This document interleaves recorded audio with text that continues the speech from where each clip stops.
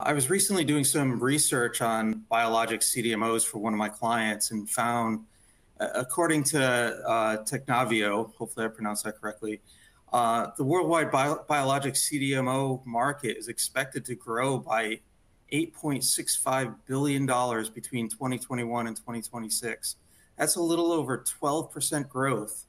And out of that, about 41% of that growth is here in North America the cell and gene therapy is projected to grow even faster uh, at faster rate of more than 30%.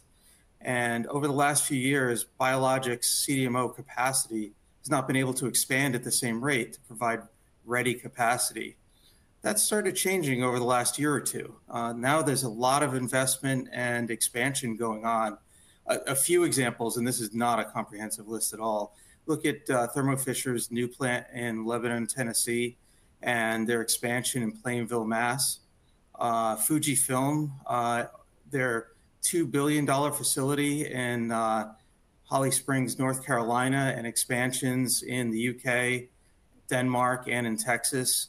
Uh, Samsung, uh, $1.7 billion new plant in Incheon, Korea, the so called super plant, uh, some people have referred to it as. And Lonza has expansions in Portsmouth, New Hampshire, and in Switzerland as well. Catalent in Italy, uh, Boehringer Ingelheim in Austria, Wuxi in Wuxi, China. The list goes on. I don't want to, this is not a comprehensive list, but here there's an awful lot of expansion going on.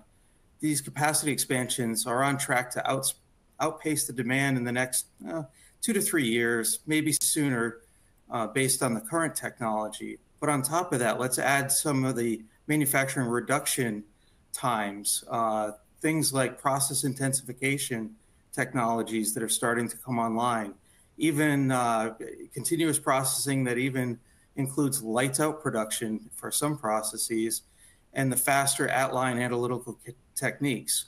When you put all of these together, these new efficiencies and the new capacities, we'll be probably coming out of this uh, phase right now where it seems like there's not enough capacity, and we'll be moving into a phase where we may actually have uh, a little more capacity than than is actually needed.